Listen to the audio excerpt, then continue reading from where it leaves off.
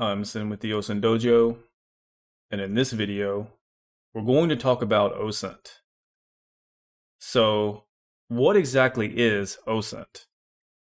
Perhaps the easiest way to explain this is to break it down into two parts that make it up open source and intelligence. The open source part of OSINT refers to the type of information collected. That is, that this information collected is publicly available. This can include a number of sources, whether online ones like social media profiles, public satellite imagery, or even non online media such as newspapers, radio broadcasts, and other physical media.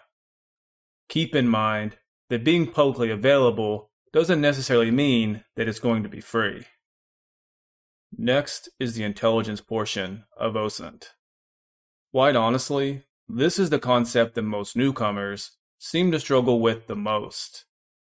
You might have heard somebody say, I OSINTed them, or I did some OSINT on this or that, when they simply mean that they collected information.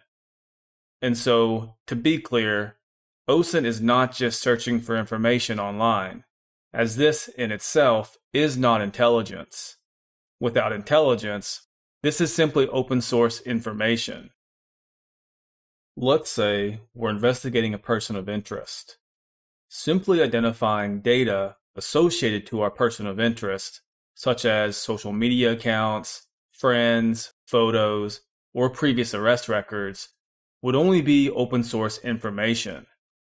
Now, we can take that data and analyze it to see what places our target frequents, as well as which people they have close and continuing contact with. We could then aggregate the locations from our target's social media check ins, their friends and family's houses, as well as places where they were previously arrested at. We can then utilize this analysis and maybe predict possible routes of travel for our target.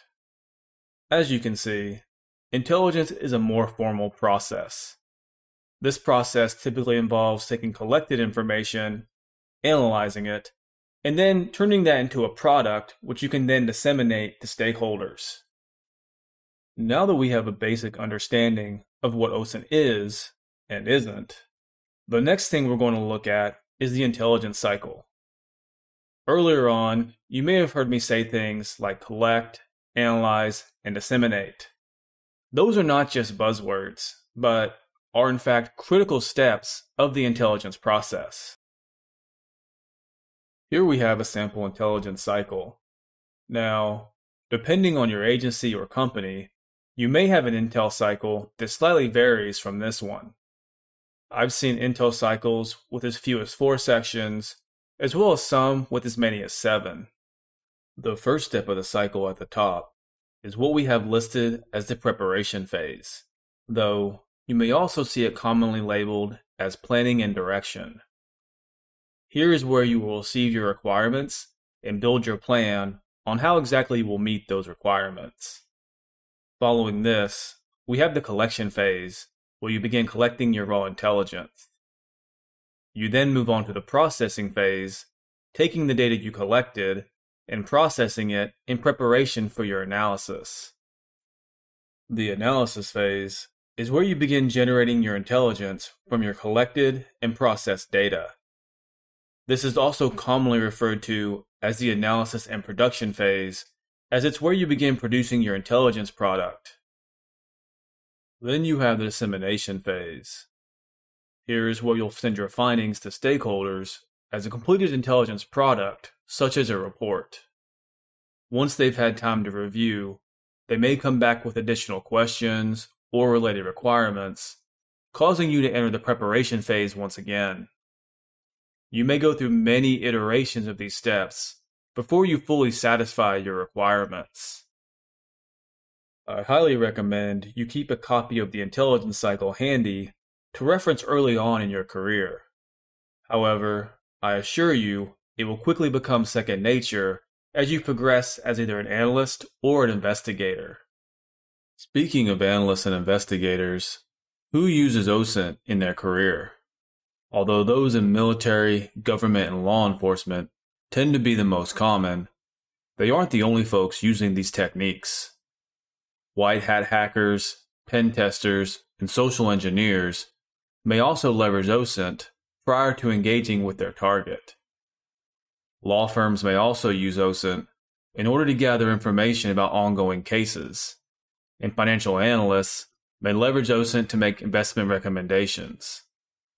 Then there are numerous roles in things like trust and safety, personal and brand protection, anti piracy, and cyber threat intelligence. One thing to keep in mind is that most jobs are not strictly OSINT only and will instead require other skill sets and job duties. With this in mind, I also want to point out that there are numerous specializations within the realm of OSINT, and no one person will be an expert on everything. Instead, I encourage you to find out what genres of OSINT you enjoy the most and focus on those first. For example, a financial analyst may need more experience in business related OSINT and tracing cryptocurrency. However, they may not need extensive knowledge of image geolocation or person tracking. Conversely, a general investigator would likely need a core understanding across multiple topics. As you can see, the role or genre of OSINT that you're the most interested in will play a large part into what skill sets you need to strengthen. Now that you have a general understanding of OSINT, I encourage you to do additional research into different roles and skill sets within the field. As you do so, I recommend you focus on the methodologies, the whys and the hows, and less on the tools. Tools will come and go, but if you understand why or how something works, you're more likely to be able to continue on with an investigation, even if your favorite tool suddenly becomes unavailable.